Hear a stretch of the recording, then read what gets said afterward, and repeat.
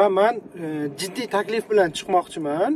E, ushbu siz ko'rib turgan kulbaga ya'ni kichkina kulbaga e, zomin tuman hokimi va uni xotin qizlar bo'yicha maslahatchisi va zomin viloyati hokimi va viloyat xotin qizlar bo'yicha maslahatchisi mana shu to'rttalasini shu kichkina kulbaga bir oy yashashga man taklif qilaman. Mani taklifimni ko'rib chiqinglar va ushbu videoga rasmiy munosabat bildirishinglarni man kutib qolaman.